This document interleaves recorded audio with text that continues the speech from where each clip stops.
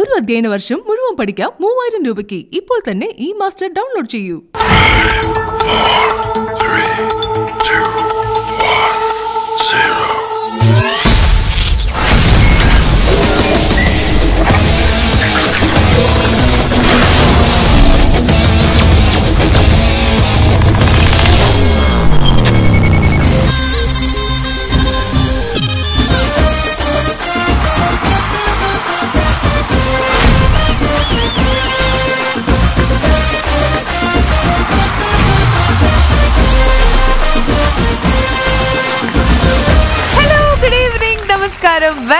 All of you and now you are watching E Master Presents can be Online English Star Magic. നമ്മുടെ star മാജിക്കിൽ ഇന്നത്തെ എപ്പിസോഡിൽ ടീമായിട്ട് അംഗം വെട്ടാനായിട്ട് രണ്ട് ടീം ഇവിടെ റെഡിയാണ് സോ ആരൊക്കെയാണ് ആ ടീമിലെ ടീം മെമ്പേഴ്സ് അറിയണ്ടേ? സോ ലെറ്റ്സ് വെൽക്കം ദ എന്റെ team to star magic welcome welcome everyone to star magic ശരിക്കും പറഞ്ഞ എല്ലാവരുടെ മുഖത്തും ഉണ്ടല്ലോ. ഭയങ്കര അധികം സന്തോഷമുണ്ട്. At the same time competition start ചെയ്തിട്ടില്ല. പക്ഷെ അതിനേക്കാളും മുമ്പ് ഒരു കോമ്പറ്റീഷൻ സ്പിരിറ്റ് ഇങ്ങനെ ഉണർന്നുണർന്ന് വരുന്നുണ്ട് അതെന്താ അറിയില്ല അങ്ങനെ വരുന്നുണ്ട്. അതെന്താ അറിയില്ല എല്ലാ പ്രാവശ്യം തോക്കുന്നോണ്ടാണ് എനിക്ക് അടിപൊളിയായിട്ടുണ്ടല്ലോ നല്ല ടിപ് ടോപ്പ് കുട്ടപ്പനായിട്ടുണ്ട് എന്താ? കുട്ടപ്പൻ എന്തായി? പെട്ടെന്നാവട്ടെ പുള്ളിക്ക് സ്കൂളിൽ ബെല്ലടിക്കാൻ പോകണ്ട ഡ്രില്ല് മാഷാ നിക്കണേ. പെട്ടെന്നാവട്ടെ? ആ ഉപ്പ ഉണ്ടാക്കണ ചേച്ചിയുടെ മേലൊരു ചെറിയൊരു കണ്ണുണ്ട്. പക്ഷെ അത് നീ അത് അവിടെ കയറി സ്കോർ ചെയ്തോണ്ടാണ്. അതല്ലേ? ശരി, ലക്ഷ്മി എങ്ങനെയുണ്ട് എന്റെ കോസ്റ്റ്യൂം സെൻസ് അടി കൊള്ളാം. ബലൂൺ പൊട്ടിച്ച് അതിനകത്തോടെ തല കയറ്റി അടിപൊളി അടിപൊളി. അടിപൊളി അടിപൊളി ഞാൻ അടിപൊളിയാണ് ട്ടാ. അനീഷേട്ടാ നമ്മുടെ കൂടെ വന്നിട്ട് ഇപ്പൊ ദാ ഒന്ന് രണ്ട് ദിവസങ്ങൾ ഇങ്ങനെ പിന്നിട്ടുകൊണ്ടിരിക്കുന്നു. എങ്ങനെയുണ്ട് ഓൾ ടോട്ടൽ ടി വിയിൽ മാത്രമേ സ്റ്റാർ മാജിക് കണ്ടിട്ടുള്ളൂ? ഗംഭീരമായിട്ടുണ്ട് ഗംഭീര ഭയങ്കരമായിട്ട് ഭയങ്കര എനർജി ഭയങ്കര സന്തോഷം. പിന്നെ ഈ കുറെ നാളെ സ്റ്റേജിൽ കയറിയിട്ടും അപ്പൊ സെയിൽ വന്നതിന്റെ ഒരു സന്തോഷം ഒക്കെ ഉണ്ട്. അനീഷേട്ടാ നമ്മുടെ പ്രേക്ഷകരുടെ കമന്റ് കണ്ടിട്ടുണ്ടായിരിക്കും. യൂട്യൂബിൽ മൊത്തം അനീഷേട്ടിന്റെ വക എന്ത് പെർഫോമൻസാ ഞങ്ങൾക്ക് തരിക? ഞങ്ങൾക്ക് തരാന്ന് പ്രേക്ഷകർ ചോദിച്ചുകൊണ്ടിരിക്കുക അപ്പൊ എന്ത് പെർഫോമൻസാ അല്ല ചേട്ടൻ ഒരു മാജിക് ഉണ്ട്. വൈക്കോൽ കൂനക്കകത്ത് തീയിട്ടിട്ട് അതിന്റെ ഉള്ളിൽ കയറി ഇറന്ന് ഓർഡർ പിന്നെ. അനീഷ് കടുംചായ കടുംചായ തലയിലിട്ട് തിളപ്പിക്കും. കൊടുക്കണല്ലേ? ഈ വൈക്കോൽ അതിന്റെ ഉള്ളിൽ നിന്ന് ഇങ്ങനെ തീ ഇടാവണോ? അത് തലയിൽ കടുംചായയാണോ എന്താണ് പ്രേക്ഷകർ ചോദിച്ചുകൊണ്ടിരിക്കുകയാണ് ചേട്ടൻ നന്നായിട്ട് മിമിക്രി ഞാൻ കണ്ടിട്ടുണ്ട്. ആ എങ്കിലൊന്ന് കേക്കണല്ലോ കേക്ക കേക്കട്ടാ ഫെഡറിക്കേ. എടാ ഫെഡറിക്ക്. എനിക്ക് ഇവിടെ മാത്രമല്ലടാ. അങ്ങ് ഡൽഹിയിലുണ്ടാ പിടി? സുഭാഷ് ബാബു. ഏത് നടനാ? കഴിഞ്ഞില്ലോ. ഇനിയുണ്ടോ അയ്യോ പ്രേക്ഷകര് പറഞ്ഞിട്ടുള്ളത് ഒരെണ്ണം പോരാന്നാ. ഒരു ഒരു പാട്ട് പാടിയല്ല? ചേട്ടന്റെ ഇഷ്ടം. ചേട്ടൻ എന്താണോ ഇഷ്ടം? അതാണ് മധു സാർ മധു സാർ നടന്റെ പേര് പറഞ്ഞിട്ട് ഞാൻ പാട്ട് നിർത്തി. അല്ല മിമിക്രി നിർത്തി.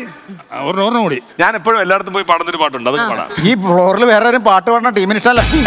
ടീമിന്റെ മുകളിൽ അങ്ങനെ പാട്ട് പാടിയതാണ്. ശ്രീവിദ്യാനെ തളർത്തിയിട്ടാണ് പുള്ളി ഇപ്പൊ. പാൽക്കടലിലോളങ്ങളെ തള്ളി നീന്തി നീ വരുമ്പോൾ സമ്മാനമായി ഞാൻ നിനക്കൊരു വെള്ളാമ്പൽ പൂവ് തരാ. വെള്ളാമ്പൽ പൂവ് തരാ. നീന്തി നീ വരുമ്പോൾ സമ്മാനമായി ഞാൻ നിനക്കൊരു വെള്ളാമ്പൽ പൂവ് തരാ. വെള്ളാമ്പൽ പൂവ് തരാ. ചെമ്മാനം പൂക്കണല്ലോ. തെങ്കാറ്റു വീസണല്ലോ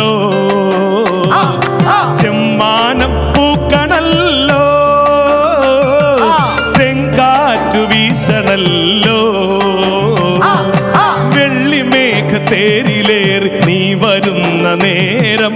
വെള്ളിമേഘ തേരിലേർ നീ വരുന്ന നേരം. സമ്മാനമായി സമ്മാനമായി ഞാൻ നിനക്കൊരു വെള്ളാമ്പൽ പൂവ് തരാ.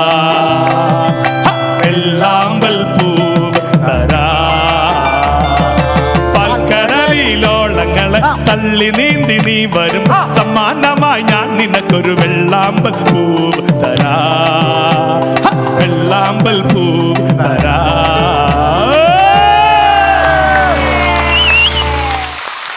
അനീഷ് ഭായി അങ്ങോട്ട് നോക്കായിരുന്ന ഭാഗ്യം അവൻ താളം തെറ്റിച്ച് കാലയിലും ചവിട്ടിയാനെ. എന്തായാലും അനീഷേട്ടൻ അടിപൊളിയായിട്ട് പാടി. ശരി കഴിഞ്ഞ കുറച്ച് ദിവസമായിട്ട് നമ്മുടെ എപ്പിസോഡിന്റെ പോക്ക് അല്ലെങ്കിൽ ദിശ എങ്ങനെയാണെന്ന് എല്ലാവർക്കും അറിയാം. ഇവിടെയുള്ളവർക്കും കാണുന്നവർക്കും ഒക്കെ അറിയാം. ഇന്നത്തെ എപ്പിസോഡിൽ ഏത് ടീം ജയിക്കും. ടീം ജയിക്കും. ഞാൻ വരാറായ? അയ്യോ സോറി ട്ടോ ചേട്ടാ. ഓക്കെ. ഇപ്പൊ വിളിക്കാം. ചേട്ടാ ഒരു പഞ്ചിൽ ഞാൻ വിളിക്കാം. അതായിരിക്കും ഞാനൊന്ന് പഞ്ചിൽ വിളിക്കാം. ചേട്ടൻ ഒന്നും കൂടെ ഹൈഡായി നിന്നോളൂ. മറയിലിരിക്കാൻ. ആ. ബാക്കിൽ ബാക്കിൽ പഞ്ചിൽ വരാനാ? പഞ്ചിൽ വരാൻ. നല്ല കേട്ടോ. അടിപൊളിയായിട്ട്. ആ അപ്പളേ അതെ. മറക്കല്ലേ? ഇവിടെ നിർത്തിക്കളയരുത് കേട്ടോ. ഇല്ലേട്ടാ ഞാനൊരു ചോദ്യം ചോദിച്ചു ചേട്ടനെ വിളിക്കാം കേട്ടാ. ആ ഓക്കെ ഓക്കെ ശരി അപ്പൊ ഇന്നത്തെ എപ്പിസോഡിൽ ഏത് ടീമായിരിക്കും ആക്ച്വലി ജയിക്കണ്ടായിരിക്കും വിളിച്ചാ ഇല്ല. ചേട്ടാ ഹരിശ്രീ അശോകൻ ചേട്ടൻ എന്ന് വിളിക്കും. ആ അപ്പൊ വന്നു. ആ അപ്പൊ വന്നാ മതി. ഓക്കെ തുടങ്ങാം. ഓക്കെ അപ്പൊ ശരിക്കും പറയുകയാണെങ്കിൽ നിങ്ങൾക്ക് എന്താ തോന്നണേ? ഏത് ടീമായിരിക്കും ജയിക്കുക? ആ സംശയമുണ്ടോ? ഞങ്ങൾ തന്നെ എന്ത് ചോദിച്ചാൽ അല്ല, ഇന്ന് ഇന്ന് ഗെയിം തോറ്റാ ഞാൻ താടി പിടിച്ചോളെ താടി പിടിച്ചോളെ താടി. ഞാൻ താടി പഠിച്ചോളെ ഇന്ന് തോറ്റു കഴിഞ്ഞാ. ഷി- ഷിയാസ് ഇങ്ങനെ വെച്ചിട്ട് ഈ ഫ്ലോറിൽ മുടി മുറിച്ചിട്ടുണ്ട് അറിയോ ഉറപ്പാണോ സത്യം സത്യം സത്യം പറയൂ. ഞാൻ താടി പഠിക്കും തീമേ തോറ്റ. ഞാൻ താടി പഠിക്കും തീമേ തോറ്റ. ഇന്ന് എന്തെങ്കിലുമൊക്കെ അത് അതിമോഹമാണ് മോനെ ദിനേശ. അത് അതിമോഹമാണ്. ഞങ്ങൾ തന്നെ ജയിച്ചിരിക്കും. പഞ്ചായ. പഞ്ചായ പ- അയ്യോ മറന്നുപോയി മറന്നുപോയി. ഇപ്പൊ വിളിക്കാം ഇപ്പൊ വിളിക്കാട്ടാ ഞാൻ- ചേട്ടാ സോറി ഇപ്പൊ വിളിക്കാം. ഇപ്പൊ വിളിക്കാം ഇപ്പൊ വിളിക്കാട്ടാ വൈകുന്നേരം ഞാൻ ഉറങ്ങിപ്പോവും അതാ സത്യത്തിൽ മറന്നുപോയി വിളിക്കാം. ഓക്കെ അപ്പൊ ഇതെല്ലാം ഇന്നത്തെ എപ്പിസോഡ് നമ്മൾ സ്റ്റാർട്ട് ചെയ്യുമ്പോ ഹാസ്യത്തിന് എന്താ പറയാ ഒരു വേറൊരു തലത്തിലേക്ക് നമ്മളെ കൊണ്ടുപോയ നടൻ അതുപോലെ തന്നെ സംവിധായകൻ ആയ നമ്മുടെ സ്വന്തം ഹരിശ്രീ അശോകൻ ചേട്ടനെ നമ്മൾ സ്വാഗതം ചെയ്യാണ്. സ്റ്റാർ മാജിക്കിലേക്ക് പഞ്ച് അടിപൊളിയല്ലേട്ടാ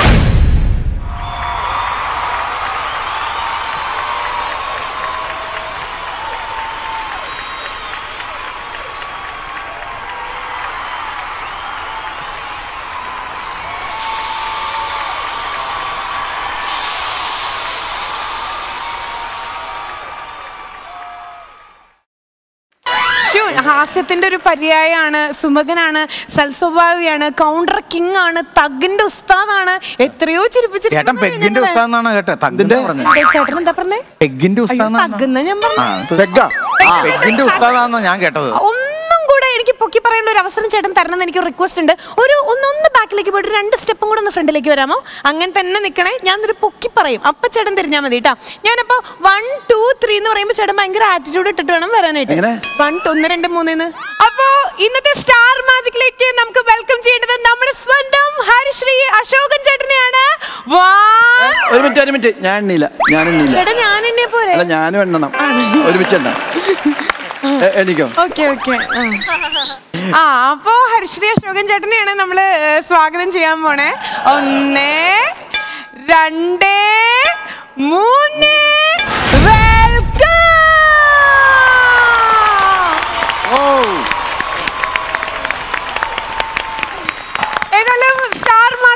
ഇന്നത്തെ എപ്പിസോഡിലേക്ക് നമ്മൾ വളരെ സ്നേഹത്തോടുകൂടി ഒരിക്കൽ കൂടെ സ്വാഗതം ചെയ്യാണ് നമ്മുടെ സ്വന്തം ഹർശ്രീ അശോകൻ ചേട്ടൻ. ചേട്ടാ ഈ എണ്ണയുടെ കാര്യം പറഞ്ഞപ്പോഴേ നമ്മുടെ സി ഐ ഡി? അതൊക്കെ അപ്പോഴുള്ള ഒരു ഇംപ്രമൈസേഷൻ ആയിരുന്നു. സി ഡി മ്യൂസിയുടെ ഭൂരിഭാഗം സംഭവങ്ങളും നമ്മൾ എഴുതിയിൽ നിന്നും വളരെ വളരെ വ്യത്യാസമായിട്ട് കുറേ സംഭവങ്ങളുണ്ട്. അതെല്ലാവരും നമ്മൾ മാത്രമല്ല ദിലീപ്. ദിലീപ് രാവിലെ വന്നു കഴിഞ്ഞാൽ നേരെ അവന്റെ കാറിലേക്ക് കയറ്റും. രണ്ട് എന്നിട്ട് സീൻ എടുത്ത് കഴിഞ്ഞാൽ അതെങ്ങനെ ആ പിന്നെ അതിൽ ജോണി ആന്റണി ഉണ്ട്. അത് ക്യാമറമാൻ അടക്കം ലാൽ സാലു സാലുവട്ടനും അവർ ഒരു അസിസ്റ്റൻസും എല്ലാവരും ഇംപ്രമൈസ് ചെയ്തിട്ടുണ്ട്. പക്ഷെ ഞങ്ങൾ സ്ഥിരം ഞങ്ങൾ രണ്ട് മൂന്ന് പേര് ദിലീപേട്ടന്റെ കൂടെയാണ് ഏറ്റവും കൂടുതൽ കോമഡി ഡുവേഴ്സ് ഒക്കെ വന്നിട്ടുള്ളത് അല്ലേ? കുറെ സിനിമകൾ ചെയ്തേക്കുന്നത് ദിലീപായിട്ടാണ്. അതെല്ലാം അത് കോമ്പിനേഷൻ നന്നായിട്ട് വർക്കൗട്ട് ആയിട്ടുണ്ട്. കാരണം ആ ഒരു കെമിസ്ട്രി നമ്മൾ ആദ്യമേ തന്നെ അത് സ്റ്റേജിൽ നിന്ന് കിട്ടിയ ഒരു കെമിസ്ട്രി അത് ഉള്ളത് കൊണ്ടായിരിക്കും ചിലപ്പോ കുറെ വർഷം ഒരുമിച്ച് ഉണ്ടായിരുന്നല്ലോ സ്റ്റേജിൽ അതെ. അതുകൊണ്ടായിരിക്കാം ചിലപ്പോ ഞാൻ എന്ത് പറയും ഞാൻ ആ അതെ. കൊച്ചി രാജാവ് സി ഡി മൂസ പറക്കും തളിക പിന്നെ പഞ്ചാബി ഹൗസ്.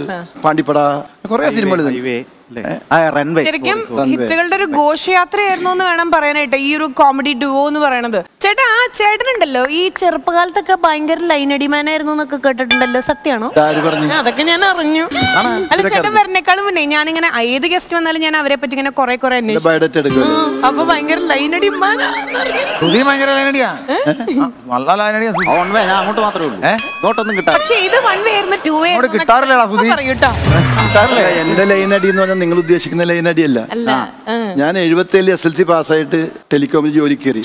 ആ ലൈനാ ആ. ലൈൻ ലൈൻ ലൈനെ കുറിച്ചായി പറഞ്ഞു അല്ലാതെ എനിക്ക് പ്രണയമൊന്നുമില്ല. സൂചേട്ടൻ ഇപ്പൊ തന്നെ സെയിം പിച്ച് പച്ചാന്നൊക്കെ തൊടാൻ വേണ്ടി വരുമായിരുന്നു ടെലികോമിൽ നിന്ന് കരിയർ സ്റ്റാർട്ട് ചെയ്യണു. അതിനുശേഷം മിമിക്രി പിന്നെ സിനിമ അല്ല ആ ഒരു ലൈഫിനെ പറ്റി ഒന്ന് പറയൂ കേട്ടാ. ഇത് കുറെ പറയേണ്ടി വരും. കാരണം സിനിമയിൽ അല്ല മിമിക്രിയിൽ വരുന്നതിന് മുമ്പ് തന്നെ സ്കൂളിൽ നിന്നാണ് ഞാൻ മോണോ ആക്ട് കോമ്പറ്റീഷൻ തുടങ്ങുന്നത് സ്കൂളിൽ പിന്നെ സ്കൂളിൽ ഒരു ഓളിനോളായിരുന്നു ഞാൻ. എല്ലാം സ്പോർട്സിലാണെങ്കിലും ആർട്സിലാണെങ്കിലും ഒക്കെ ഞാൻ ഒരുപാട് ഒരുപാട് മുൻപന്തിയിൽ നിൽക്കുന്ന ആളാണ്. ആ നാടകത്തിനും അന്ന് മിമിക്രി ഇല്ലല്ലോ മോണോ ആക്ടിനും ഡാൻസിനൊക്കെ പങ്കെടുത്തിട്ടുണ്ട് പാട്ടിനും. അങ്ങനെ കുറച്ചു കാലം സിനിമ നാടക ഇങ്ങനെ സ്കൂളിൽ കുറേ കലാപരിപാടി പുറത്തുള്ള പരിപാടിക്കൊക്കെ പോകും. മാതൃഭൂമി സ്റ്റഡി സർക്കിൾ അങ്ങനെ കുറേ കോമ്പറ്റീഷന് പോകും. എന്നിട്ട് ഈ പ്രൈസ് കൊണ്ടുവന്നിട്ട് ഞാൻ പ്രയറിന് മുമ്പ് ഞാൻ അഡ്മിഷൻസിന്റെ കൈ കൊണ്ട് കൊടുക്കും. രാവിലെ പ്രൈസ് കിട്ടുന്ന അന്ന്. അന്ന് എന്റെ പിറ്റേ ദിവസം. പ്രയറിലപ്പോൾ വിളിച്ചു പറയും ഇന്നൊരു സന്തോഷ വർത്തമാനമുണ്ട്. എന്ന് പറഞ്ഞിട്ട് പിള്ളേർ കൈയ്യടി കൊടുക്കും. പിള്ളേർക്ക് അറിയാം എന്താണ് എനിക്ക് പ്രൈസ് ഉണ്ടെന്നുള്ളത്. അങ്ങനെ ആ പ്രൈസ് വാങ്ങാൻ എന്നെ അനൗൺസ് ചെയ്തിട്ട് അഡ്മിഷൻസ് വാങ്ങും പറയുമ്പോൾ ഞാൻ ചെന്ന് ഈ പ്രൈസ് വാങ്ങുമ്പോൾ എന്റെ സ്കൂളിലുണ്ടായ കുട്ടികളുടെ കയ്യടിയായിരുന്നു എന്റെ ഇപ്പോഴത്തെ ഈ വളർച്ചയുടെ. ഇൻട്രസ്റ്റ് അത് ടീച്ചർമാരും മാഷന്മാരും എല്ലാവരും പിന്നെ സ്കൂളിന്റെ ചരിത്രത്തിൽ ആദ്യമായിട്ടാണ് ജില്ലാടിസ്ഥാനത്തിലും പിന്നെ റവന്യൂ ജില്ലാടിസ്ഥാനത്തിലും സ്റ്റേറ്റ് ലെവലിലും മോണാക്ടിന് ഞാൻ സ്കൂളിൽ നിന്ന് പോയിട്ട് പ്രൈസ് വാങ്ങി ആ ചരിത്രത്തിലാണ്. അന്ന് എനിക്ക് തന്ന ഒരു സമ്മാനമുണ്ട് സ്കൂളിൽ നിന്ന് ഒരു ബോങ്കസ്. ആ ബോങ്കസ് ഞാൻ വായിക്കും. എനിക്ക് ചെറുതായിട്ട് ബോങ്കസ് വായിക്കാറ്. അതുണ്ട്. അത് അപ്പോഴും ഞാൻ ഒറ്റയ്ക്കൊക്കെ പ്രോഗ്രാമിന് പോകും സ്റ്റേജിലൊക്കെ ഈ പല അമ്പലങ്ങളിലൊക്കെ ഇങ്ങനെ എഴുതി കൊടുക്കും. എഴുതി കൊടുത്ത് എനിക്കൊരു പ്രോഗ്രാം ചെയ്യണം. എറണാകുളം അയ്യപ്പൻകാവിലൊക്കെ ഞാൻ എന്നെ കൊടുത്തിട്ടുണ്ട്. അങ്ങനെ കുറേ സ്ഥലത്ത് ഞാനും എന്റെ ഒരു വലിയ കുഞ്ഞ വലിയമിച്ച പോകാനുണ്ട് രാജൻ. ഞങ്ങൾ രണ്ടുപേരും കൂടി ഒരു ഒരു വൺ അവർ പ്രോഗ്രാം ചെയ്യും. അത് കുറേ ഭയങ്കര രസകരമായ പരിപാടിയാണ്. അപ്പോൾ അങ്ങനെ കുറച്ച് കാലം നടന്ന് നടന്ന് നടന്ന് നടന്ന് നടന്ന് ഞാൻ പതുക്കെ കൊച്ചിൻ നാടകവേദിയിൽ നിന്ന് തന്നെ എന്റെ വീടിന്റെ അടുത്തുള്ള കൂലഞ്ചേന്റെ ട്രൂപ്പിൽ എന്റെ വീടിന്റെ അടുത്താണ് അതിൽ കുറേ നാൾ ഞാൻ നാടകം അഭിനയിക്കാൻ വേണ്ടി അയാളുടെ കൂടെ അദ്ദേഹത്തിന്റെ കൂടെ കോമഡി ആയിരുന്നു കോമഡി ആയിരുന്നു കോമഡി ആയിരുന്നു. അതെ അതിനുശേഷം ഞാൻ പിന്നെ കലാഭവനിലേക്ക് എന്നെ വന്ന് വിളിക്കുന്നു. അഡ്വക്കേറ്റ് കെ വി പ്രകാശ് എന്ന് പറയുന്ന അവിടുത്തെ സെക്രട്ടറി പുള്ളിയാണ് എന്നെ ആദ്യം വിളിക്കുന്നത്. വിളിച്ച് ഞാൻ ചെന്ന് ഗാനമേളയുടെ ഇന്റർവെല്ലിന് കുറേ രണ്ട് മൂന്ന് വർഷം മിമിക്രി പറഞ്ഞു. അതിനുശേഷം അപ്പോഴും മിമിക്സ് പരേഡ് ഉണ്ട് അവിടെ. മിമിക്സ് പരേഡിൽ നിന്ന് ഒരാൾ മാറിക്കഴിഞ്ഞപ്പോൾ എന്നെ അതിലേക്ക് പോസ്റ്റ് ചെയ്ത്. സിദ്ദിഖാണ് മാറിയത്. സിദ്ദിഖിന് ജോലിയായിട്ട് പോകാൻ പറ്റാത്തത് പിന്നെ അവിടെ കയറി. അവിടുന്ന് കുറേ കാലം അവിടെ ഉണ്ടായിരുന്നു. അപ്പോഴും ഞാൻ ജയറാമൊക്കെ ആയിട്ട് പ്രോഗ്രാം നടത്തുമായിരുന്നു. ഞങ്ങളല്ലാതെ തന്നെ. അതിനുശേഷം ഞാൻ ഹരിശ്രീയിലേക്ക് പോകുന്നു. അവിടുന്ന് സിനിമയിലേക്ക് വന്നു. ഓ ഇപ്പോ അതേ പാത പിടിച്ച് മകനും ഈ ഒരു ഇൻഡസ്ട്രിയിലുണ്ട് ശരിക്കും പറഞ്ഞു കഴിഞ്ഞാൽ. ശരിക്കും ചേട്ടനൊന്ന് തിരിഞ്ഞു നോക്കുമ്പോ സിനിമയിലേക്ക് ഫസ്റ്റ് കൈ പിടിച്ചു ഉയർത്ത അല്ല തിരിഞ്ഞു നോക്കുമ്പോ. അയ്യോ. അത് ഇടയ്ക്ക് ഇടയ്ക്ക് നിങ്ങളുടെ സ്റ്റാൻഡേർഡിലെ തമാശ പറയണ്ടേ? അല്ലെങ്കിൽ ശ്രുതി എന്ത് വിചാരിക്കും? വിളിച്ചു ശരിക്കും അതായത് ജസ്റ്റ് നമ്മൾ ഇങ്ങനെ നേരെ നോക്കുമ്പോ? അതായത് ഈ ഇൻഡസ്ട്രിയിലേക്ക് കാലെടുത്ത് വെക്കാനായിട്ട് ഏറ്റവും അധികം ഏത് ഇൻഡസ്ട്രിയിൽ ഫിലിം ഇൻഡസ്ട്രി സപ്പോർട്ട് ചെയ്തത് ആരായിരുന്നു? ഫിലിം ഇൻഡസ്ട്രിയിൽ ഫസ്റ്റ് ഞാൻ അഭിനയിക്കുന്നത് സിദ്ദിഖ് ലാൽ എഴുതിയ ആണ് പപ്പൻ പ്രിയപ്പെട്ട പപ്പൻ. പപ്പൻ. അതായത് നമ്മൾ പ്രോഗ്രാമിന് പോകുമ്പോൾ ഇവർ ഓരോ കഥകൾ പറയും. അതിൽ ഒരു എല്ലാ കഥകളും ഒരു ഒന്നൊന്നര കഥകളായിരുന്നു. അന്ന് പപ്പൻ പ്രിയപ്പെട്ട പപ്പൻ എന്ന് പറയുന്ന കഥ ഇവരുടെയാണ്. അത് സത്യനന്ദിക്കാട് എന്ന് പറയുന്ന ആ വലിയ ഡയറക്ടറാണ് അന്ന് ഡയറക്റ്റ് ചെയ്തത് ഞാൻ അതിന്റെ അകത്തൊരു വേഷം ചെയ്തു. അവിടെ നിന്നാണ് എന്റെ തുടക്കം. പിന്നെ സിദ്ദിഖ് ലാലിന്റെ സിനിമയിൽ അഭിനയിച്ചു. റാംജി റാവ് സ്പീക്കിംഗിൽ അഭിനയിച്ചു. പിന്നെ ഗോഡ് ഫാദറിൽ അഭിനയിച്ചു.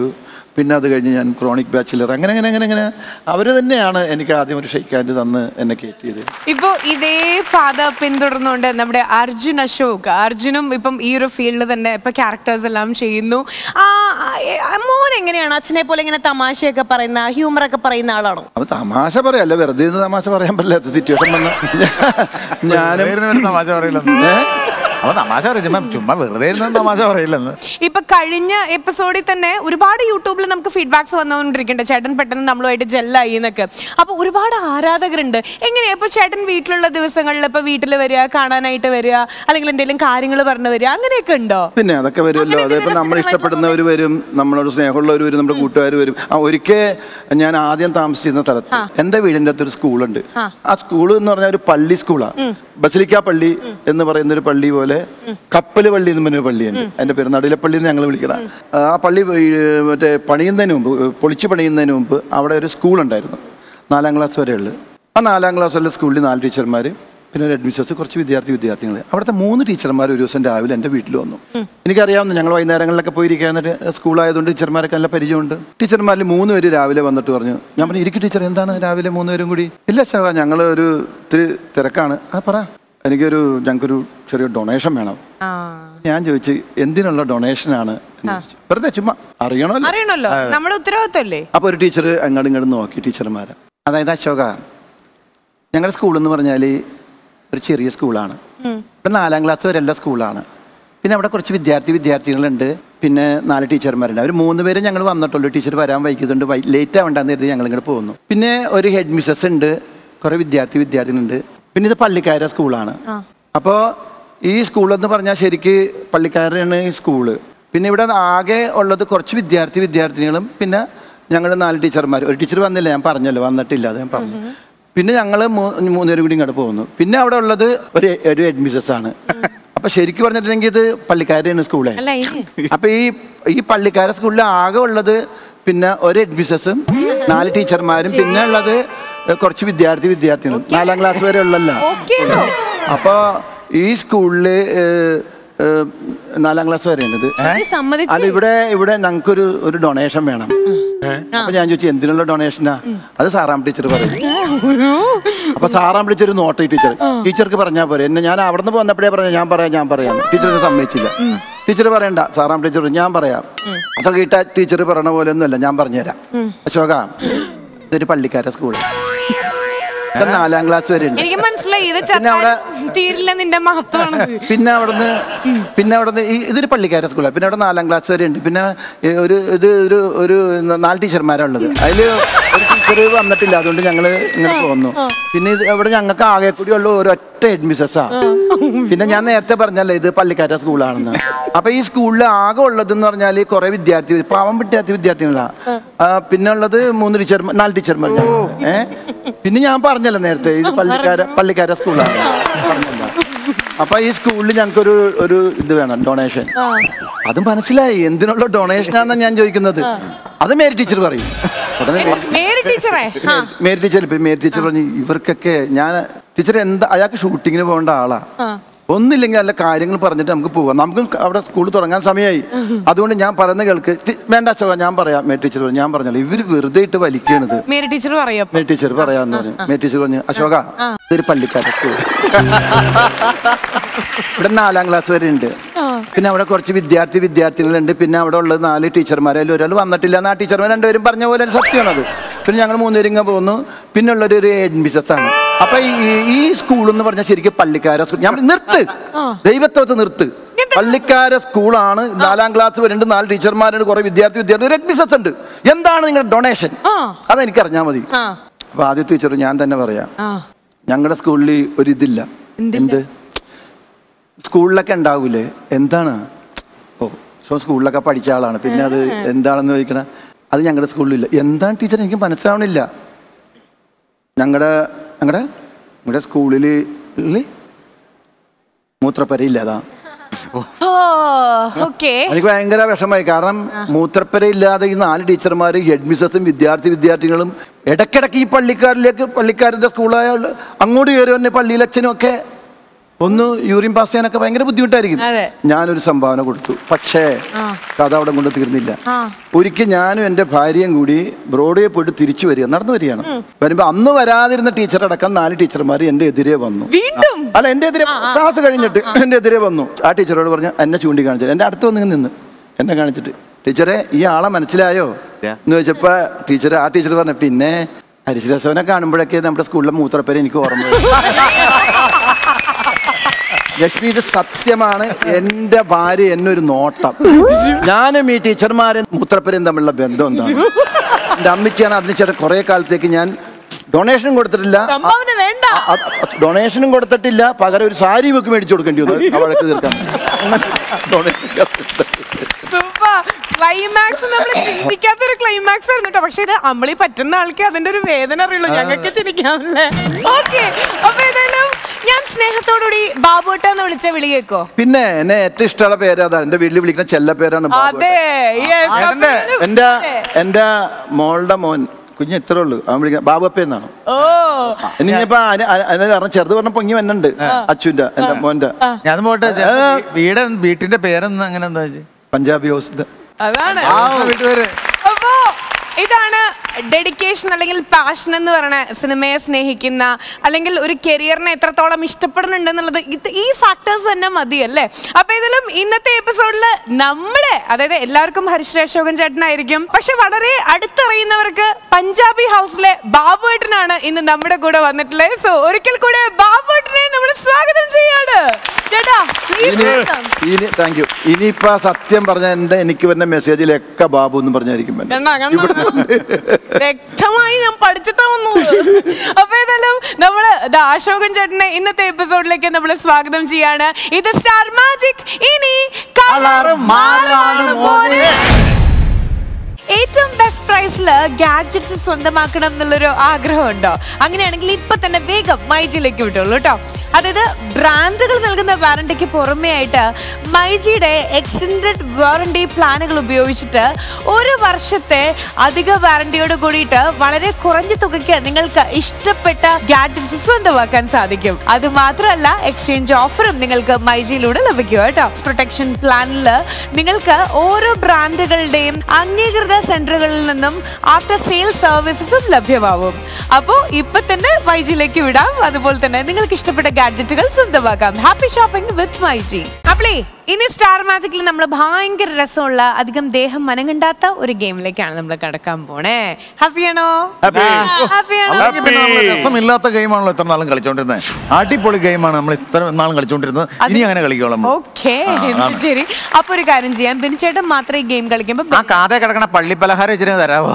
പള്ളി പലഹാരം മുറുക്ക്. മുറുക്ക് സാധനമുണ്ട്. എന്താണ് ബഫേ ഉണ്ടോ ഇവിടെ? ഓമ്പടേ. നമ്മൾ ഇനി പോവാൻ പോണ ഗെയിമിന്റെ പേരാണ് ട്വിസ്റ്റിംഗ് പ്ലേറ്റ്സ്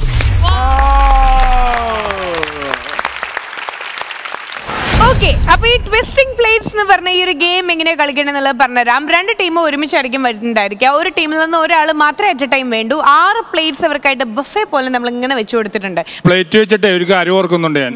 ചെറുതായിട്ട് പറയുള്ളൂ കേട്ടോ. അധികം നീട്ടൂല അയ്യോ അല്ല. നീട്ടൂല എടാ, നീ വീട്ടിലും അത് പ്രേക്ഷകർക്ക് വേണോ അത്?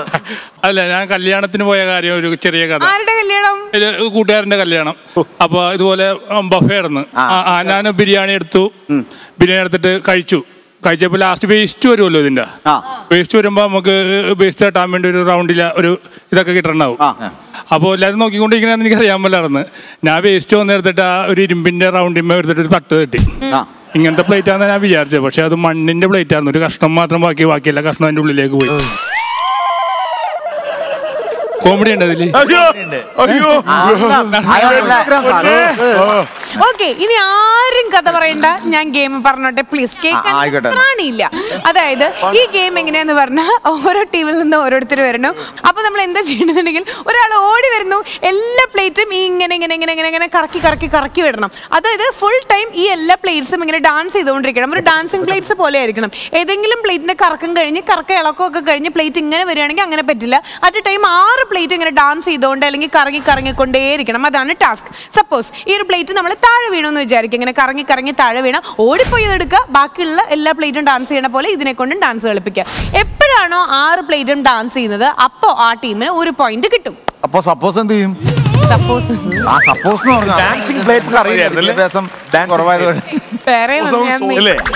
എനിക്കറിയാം വായനപ്പോ പുറത്ത് ചാടിയാനല്ലേ അതാണ് ഞങ്ങൾക്ക് വേണ്ട ചാനലിന് അതാ വേണ്ടത്. അതാണ് വേണ്ടത് ഞങ്ങൾക്ക്. ഇപ്പൊ തന്നെ നമ്മുടെ ഷോന് ഭയങ്കര റേറ്റിംഗ് കൂടുതലാന്ന് ശരി അപ്പൊ നമ്മൾ സ്റ്റാർട്ട് ചെയ്യാൻ വേണ്ടി പോവാണ്. രണ്ട് ടീമിൽ നിന്ന് ഓരോ മെമ്പേഴ്സ് വന്നോളൂ.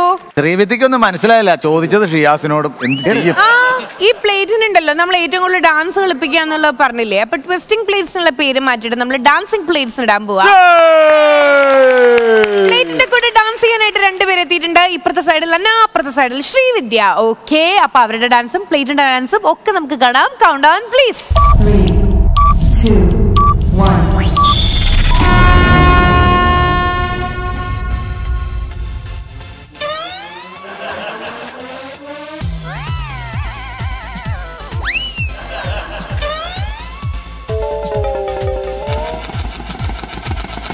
very good Anna very good very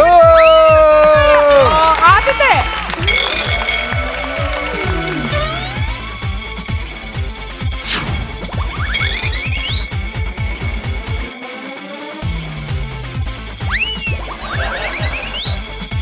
very good ഓ ശ്രീവിദ്യ കാൽ വയ്യാത്തണൊന്നും ചെയ്യണ്ട. അവിടെ അന്ന അപ്പ അങ്ങനെ വെയിറ്റ് ചെയ്യരുത് കേട്ടോ ആരാണോ ഡാൻസ് കളിക്കാണ്ടിരിക്കുന്ന പ്ലേറ്റ് അവരെ ഡാൻസ് ചെയ്യിപ്പിക്കണം അടുത്തത് അടുത്തത്.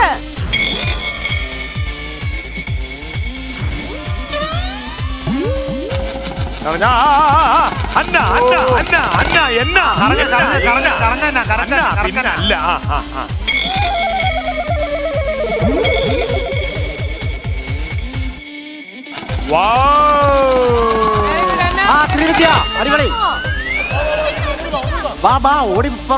ദാ ഇറങ്ങ്, ദാ ഇറങ്ങ്. Oh, just miss. അന്ന എന്നാ അന്ന കാണിക്കണേ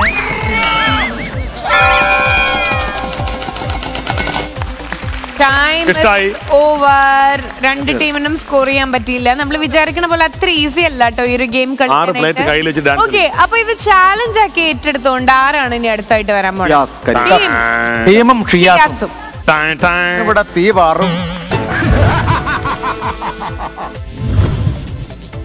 ഞങ്ങൾ ഒന്നാണ് ടീം. ഇവിടെ തീ പാറും.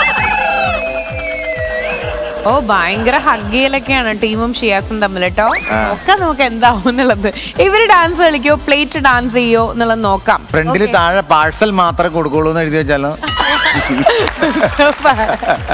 ഓക്കെ അപ്പൊ കൗണ്ട് ഡൗൺ കൊടുക്കാം. Count down please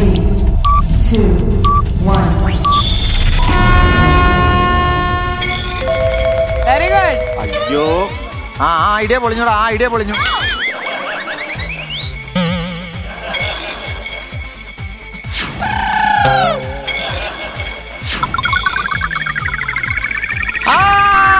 ഇവനെ അങ്ങ് തല്ലിയാലോ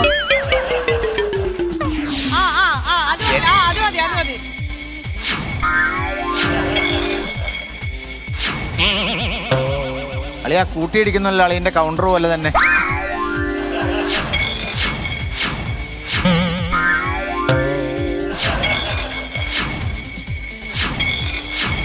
അയ്യോ അയ്യോ അയ്യോ അതെ ലാ.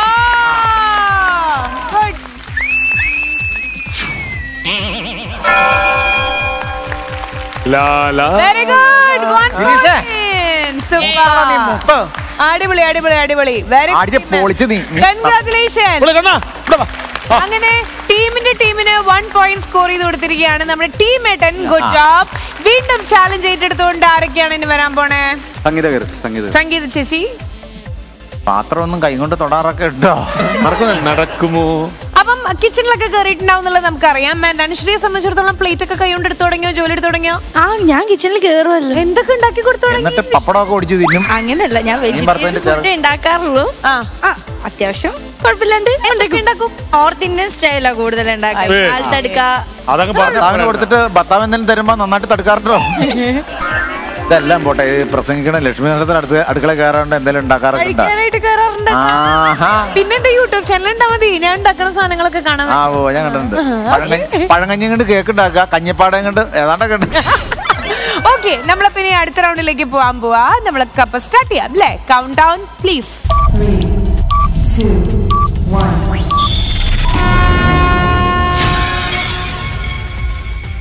very good very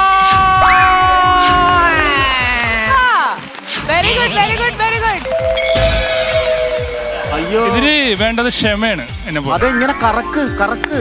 ആ അങ്ങനെ.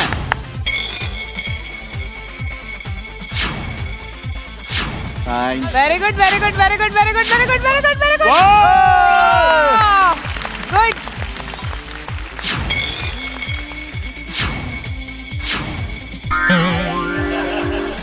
ആ ആ ആ, നിക്കണത് അവിടെ പോയി കറക്കണേ.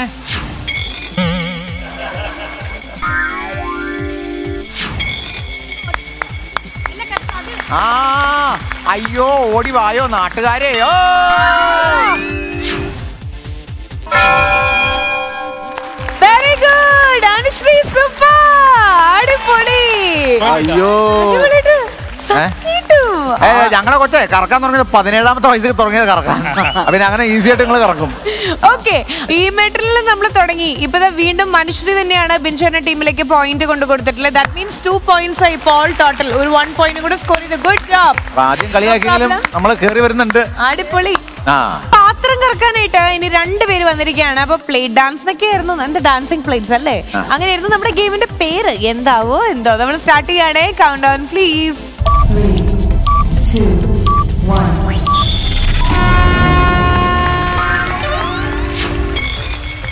ഐഷുമ എല്ലാ പ്ലേറ്റും സ്ട്രെയിറ്റ് നിർത്തിയിട്ട് ആ!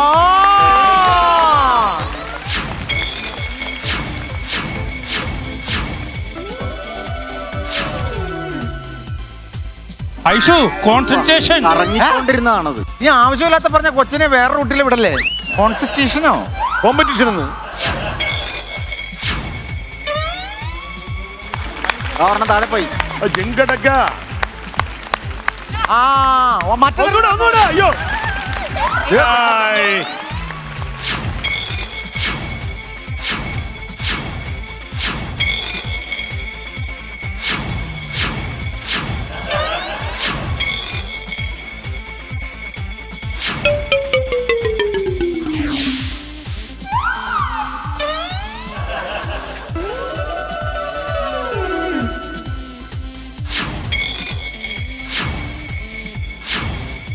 very good super very good Aishu good job വീണ്ടും നമ്മുടെ ബിൻഷന്റെ ടീമിലേക്ക് വളരെ ഗംഭീരമായിട്ട് പെർഫോം ചെയ്തു കേട്ടോ. അപ്പൊ വൺ പോയിന്റും കൂടെ കൂടുമ്പോൾ one plus one plus one three points ആണ് ബിൻഷന്റെ ടീമിന് കിട്ടിയിട്ടുള്ളത്. ഐഷു ആണ് ഇപ്പൊ ലാസ്റ്റ് ഒരു പോയിന്റ് കൂടെ സ്കോർ ചെയ്ത് കൊടുത്തത് സോ ടോട്ടൽ ത്രീ പോയിന്റ്സ് ഒരു റൗണ്ട് കൂടെ ഒരു റൗണ്ട് കൂടെ. ഉറപ്പാണോ? അനു അനു അനു. ഓക്കെ ശരി. ഏതായാലും ഈ ടീമിൽ നിന്ന് അനു വരുന്നു. ഈ ടീമിൽ നിന്ന് ചെല്ല്. അങ്ങനെ ചുമ്മാ ഇരുന്ന് അടി കൊടുക്കാതെ കളത്തിലിറങ്ങി. അനു അനു. തോറ്റിട്ട്? ഓക്കെ നമ്മളപ്പോ സ്റ്റാർട്ട് ചെയ്യാൻ വേണ്ടി പോവാട്ടോ സൂചിച്ചേട്ടന്റെ സ്പെഷ്യൽ ഒരു റിക്വസ്റ്റ് പ്രകാരം ഒരു റൗണ്ടും കൂടെ അവർക്ക് നമ്മൾ കൊടുക്കാൻ പോവാണ്. ഇപ്പൊ തോറ്റ് തൊപ്പിയിട്ട് ഇരിക്കുക ലാസ്റ്റ് റൗണ്ട് കേട്ടോ അപ്പൊ അനു പറഞ്ഞു ചേട്ടാ ചേട്ടന് വേണ്ടി ഞാനുണ്ട് ടീമിനെ കളിച്ച് ജയിപ്പിക്കാൻ നോക്കാട്ടോ ഓക്കെ ഇവിടെ ആണെങ്കിൽ അനീഷ് ചേട്ടനും കൃഷ്ണ വില കളയരുത്. ഓക്കെ നമ്മളിപ്പോ കൗണ്ട് ഡൗൺ സ്റ്റാർട്ട് ചെയ്യാണ് കൗണ്ട് ഡൗൺ പ്ലീസ്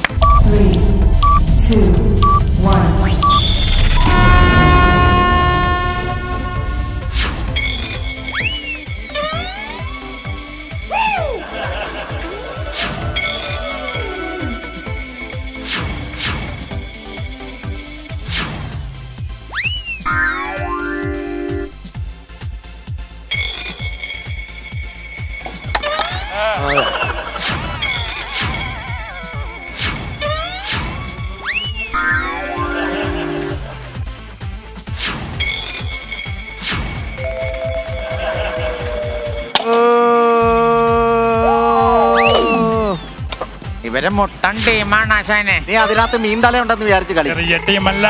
ഓരോ പ്ലേറ്റിൽ. ഓരോ മീൻതല ഉണ്ടെന്ന് വിചാരിച്ച് കളി. ചെറിയ ടീമല്ല ആശാനെ ആ അടിപൊളി.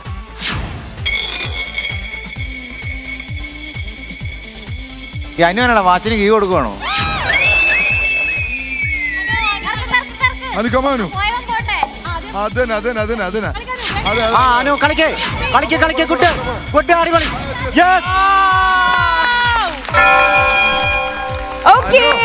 അപ്പൊ ഏതായാലും അനു അയ്യോ ആദ്യമായിട്ട് ഞങ്ങളുടെ ടീമിന് ഒരു പോയിന്റ് വെരി ഗുഡ് അപ്പോ അനു ഇറങ്ങി. നമ്മളത് കൺഫേം ചെയ്യാണ്. വൺ പോയിന്റ് അനു ടീമിന് സ്കോർ ചെയ്ത് കൊടുത്തിരിക്കുകയാണ്. ഗുഡ് ജോബ് അപ്പൊ ഇതെല്ലാം ഈ ഒരു ഗെയിം ഇവിടെ നമ്മൾ വൈൻഡപ്പ് ചെയ്യുമ്പോൾ നമ്മുടെ ബിനിച്ചേട്ടന്റെ ടീമിന് ടോട്ടൽ ത്രീ പോയിന്റ്സും നമ്മുടെ സുചേട്ടന്റെ ടീമിന് ഒരു പോയിന്റും ആണ് കിട്ടിയിട്ടുള്ളത്. ദാറ്റ് മീൻസ് ഒരു ഗെയിം കഴിയുമ്പോൾ ജയിച്ചിട്ടുള്ളത് ബിനു അടിമാലി ആന്റി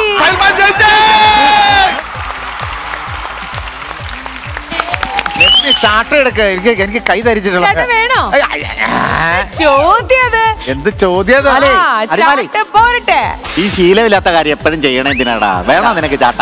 എടാ നിനക്ക് ശീലമാവണം. അടികൊണ്ട് അടി കൊണ്ട് ശീലമാവണം. ചാട്ട പോരട്ടെ. ചാട്ട പോരട്ടെ. ഓക്കെ അപ്പൊ ഇതെല്ലാം നമ്മൾ ക്ലൈമാക്സിലേക്ക് നമ്മൾ എത്തിയിരിക്കുകയാണ്. ക്ലൈമാക്സ് എന്ന് പറയുമ്പോഴല്ലോ പ്രൗഡ് മൊമെന്റ് നമ്മുടെ ബിൻചേട്ടനും ടീമിനും കാരണം ജയിച്ചിട്ടുള്ളത് ബിൻചേട്ടന്റെ ടീമാണ്. അപ്പോ ഇന്ന് ബെസ്റ്റ് പെർഫോമർ എന്ന് പറയുന്നത് നമ്മുടെ ഐഷു ആണ്. ഫസ്റ്റ് ടൈമാ കിട്ടുന്നേ. അതെ അല്ലേ? അടിപൊളി. അപ്പൊ ഇതെല്ലാം വരൂ. ജിങ്ങണമണി അടിക്കൂ. ആവും. കളിച്ചത് ഐഷു ആണ്. അടി ഐഷു, കൂട്ടുമണി. എല്ലാ അടി പ്രാവശ്യം ഐഷു, കൂട്ടുമണി. അടി ഐഷു, കൂട്ടുമണി. അത് വെട്ടുകേക്ക് പോലെ പൊട്ടിച്ചു കളഞ്ഞു. ശരിക്കും ഐഷു എന്ന് പറഞ്ഞു കഴിഞ്ഞാലേ ഐഷു ഗെയിം കളിക്കുമ്പോൾ നമുക്ക് എല്ലാവർക്കും ഉള്ളിൽ ഭയങ്കര പേടിയാണ് കാരണം വെപ്രാളം കൂടിയിട്ട് ഐഷു ചിലപ്പം ഐഷു തന്നെ വീഴും കാലിന് പ്രശ്നമാവും അങ്ങനെയൊക്കെ ബാക്കിയുള്ളവരുടെ കാലുടിയും. ഇങ്ങനെയൊക്കെയാണ്. വെപ്രാള പെർഫോമർ എന്ന് കൊടുത്താൽ പോരായിരുന്നു. അല്ല പക്ഷെ ഇന്ന് ആ ഒരു വെപ്രാളം ഒക്കെ മാറ്റിയിട്ട് ശാന്തമായിട്ട് സ്വസ്ഥമായിട്ട് ഇവിടെ ഓടി നടന്ന് ബ്രില്യന്റ് ആയിട്ട് ഐഷു കളിച്ചു. ഏറ്റവും കൂടുതൽ കറക്റ്റ് ആയിട്ട് ഇങ്ങനെ പ്ലേറ്റ് കറങ്ങിക്കൊണ്ടിരുന്നതും ഐഷുവിന്റെ ആയിരുന്നു. ഏറ്റവും നല്ല രീതിയിൽ കളിച്ചത് കറക്റ്റ് റൂൾസ് പ്രകാരം കളിച്ചത് ഐഷു ആയിരുന്നു. ഓക്കെ അപ്പൊ വെരി ഗുഡ് ഇതുപോലെ തന്നെ കളിക്കുക. ഇങ്ങനത്തെ ഒരു പ്ലേ ആണ് ഐഷുവിൽ നിന്ന് നമ്മൾ എക്സ്പെക്ട് ചെയ്യണം കേട്ടോ. ഓക്കെ അതായത് വെപ്രാളം മാറ്റി വെച്ചോളൂ. ഓക്കെ ഇത് ശീലാക്കിക്കോളൂ. അപ്പൊ ഇനി കൊടുക്കാനുള്ള കൊടുത്തോളൂ. ചാട്ടവാറും കൂടി അങ്ങ് മനോഹരമാക്കൂ കുട്ടി. ആര് വന്നാലും ഞാൻ സന്തോഷേട്ടനെ വേണോ? വിളിച്ചോ? ആര് ആര് വേണേലും വന്നോട്ടെ. ഒരു കാര്യം ചെയ്യാം. അപ്പൊ വെപ്രാളം അതവിടെ. വെഗിലി പെർഫോമൻസ് കൊടുത്തോട്ടെ? അതെ അതെ. അതവിടെ വെച്ചാൽ ഞാൻ വാടക കൊടുത്ത് വെച്ചേക്കണ അവിടെ വെച്ചേക്കണ. ഓക്കെ അപ്പൊ ഓഹോ. ഇതെല്ലാം കൂടെ ഞാൻ പിന്നെ മേടിച്ചു കൂട്ടണല്ലോ എന്ന് ആലോചിക്കുമ്പോഴും. വൺ ടു പഠിച്ചോ? ആ. ഇത് ചെവിയിൽ ചെവിയിൽ ഞാൻ നുള്ളിയുണ്ട് ആ. ആ അതിന്റെ കൂടെ കൂട്ടി കൊടുത്തോളാം. അതെ.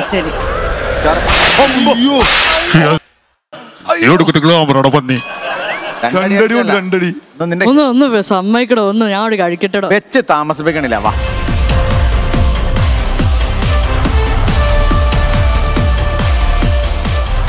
നോവിക്കാതെ അടിക്കണേ. ഏതാ? നോവിക്കാതെ അടിക്കണമെന്ന് ഈ അടി ഞാൻ മലയാള സിനിമയ്ക്ക് വേണ്ടി സമർപ്പിക്കുക. തെറ്റ്. ഒരു സിനിമയിൽ പോലും നായകനായിട്ട് ഒരു നൂറ് കോടിയിലെത്താത്ത നീ എങ്ങനെയാടാ മലയാള സിനിമയാവും? നീ മിമിക്രിക്കാർക്ക് വേണ്ടി സമർപ്പിക്കേ. ആ ഞാൻ മലയാള സിനിമയ്ക്ക് വേണ്ടി സമർപ്പിക്കുള്ളൂ. മിമിക്രിക്കാർക്ക് വേണ്ടി അത് എന്റെ ഇഷ്ടമല്ലേ അത്? ഞാൻ സിനിമ നടനാണ് ഞാൻ അത്ര സിനിമയിൽ ഓ, പിന്നെ. നീ നായകനെ അഭിനയിച്ച ഏതെങ്കിലും ഒരു പടം നൂറ് കോടി കപ്പിൾ നീ ഒന്നും ജീവിച്ചിരിക്കുമ്പോ ഒരുത്തനും ശ്രദ്ധിക്കൂല. പിന്നെ ചത്ത ചിലപ്പോ ശ്രദ്ധിച്ചു എന്ന് വരും. അല്ലേലും ചില ജീവികളൊക്കെ അങ്ങനാ. ചത്ത് ചീഞ്ഞ് നാറ്റം അടിക്കുമ്പോഴേ മറ്റുള്ളവരുടെ ശ്രദ്ധയിൽപ്പെടും ആ നാറ്റം ചിലർക്കൊക്കെ സുഗന്ധമായിട്ട് തോന്നും. അതാരുടെയും കുറ്റമല്ല.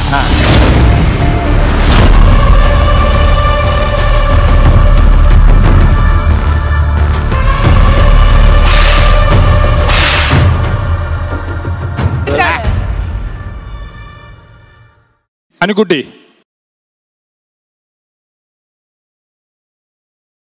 അല്ല അനുക്കുട്ടി നിങ്ങളുടെ ടീമിന്റെ മാനം കാത്തതാണ്. അതെ. ജയിച്ചാലോ? ഒരു പോയിന്റ് ഒരു പോയിന്റ് കിട്ടിയതാ. ഒഴിവാക്കണം. പയ്യടിക്കുള്ളൂ താങ്ക് യു ടീമേ. സൂപ്പറാണ്. നീ അടിപൊളിയാണ്. സൂപ്പറാണ്. ചേട്ടന് പക്ഷെ എല്ലാവർക്കും അനിയത്തി അനിയത്തിയാണ്. കേരളത്തിലെ എല്ലാവർക്കും അനിയത്തിയാണ് നീ. കല്യാണം ആരെങ്കിലും കഴിക്കുമെന്ന് അംശമാണ് എല്ലാവരും അനിയത്തിയായിട്ടല്ലേ കാണുന്നത്? ആയിരത്തിൽ ഒരുവൻ കാണും. നിന്റെ ആണോ? കാണൂല അനിയത്തി.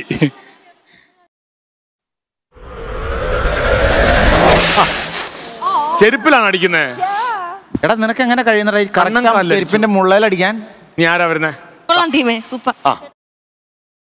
ഞാൻ ആരടിക്കണ്ടേ അടിക്കണ്ടേ? അപ്പാ. One two three go one two അങ്ങനെ പേടിക്കില്ല ചേട്ടാ. അടിച്ച പിന്നെ റിയാക്ഷൻ ഉള്ളൂ. ഭയങ്കര ചേട്ടാ.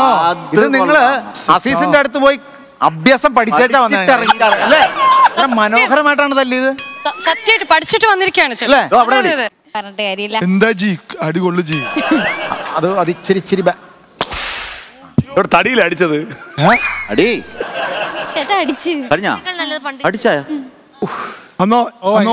ഇതെങ്ങനെ? അഭിനയം. സാധാരണ മുഖത്താണ് ഇങ്ങനെ കണ്ടില്ല അടിക്കുന്നത് കണ്ടില്ലേ? എടാ കൊടുക്ക. അന്നെ കിട്ടിയതവൻ അറിഞ്ഞില്ല എന്ന് കണ്ടില്ല തിരിച്ചു തല്ലി സുന്ദരി. സംഗീത? ഇപ്പൊ അവൾ കെ പി എസ് സിയിലെ പാട്ടും പാടിക്കൊണ്ട് വരും. നിർത്തിയോ? ത്രീ അത് പഠിച്ചു. പഠിച്ച്. അല്ലേ കളിക്ക്. പൊളിച്ച്. ഈ അടി എനിക്കും വേണം. എനിക്കും വേണം അത്. നല്ല അടിയത് കറക്റ്റ് അടിക്കുന്ന തന്നെ. ഒരടി അടിക്കുന്നോ? ശ്രീവിദ്യ പാടി തളർന്നു കിടക്കുമ്പോ ഇങ്ങനെ ചാകര എനിക്കൊരു കൊമ്പനം കിട്ടിയോ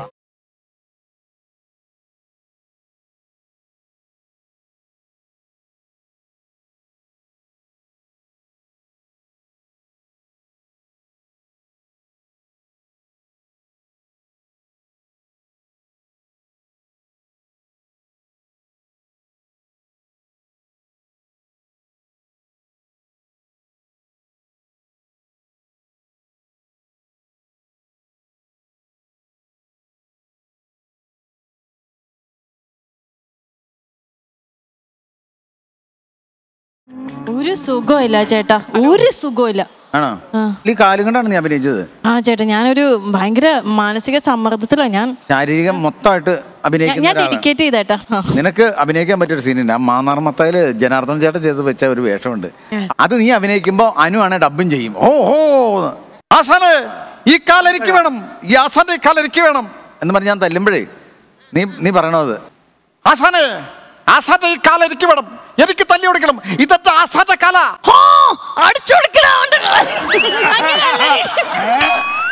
ഓ എന്റെ കാലല്ലടാ. അല്ല അടി അടി കഴിഞ്ഞിട്ടാണ്. ആ ശരി ശരി. ഓ റെഡി. എന്റെ ഭാഗത്താ തെറ്റ്. തെറ്റ് തെറ്റാ. ആസാനെ ഇതെന്റെ ആസാന്റെ കാലാണ്? ഇത് വേറൊരുത്ത തല്ലി ഓടിക്കാൻ സമ്മതിക്കില്ല. ഇത് എനിക്ക് തല്ലി ഓടിക്കണം.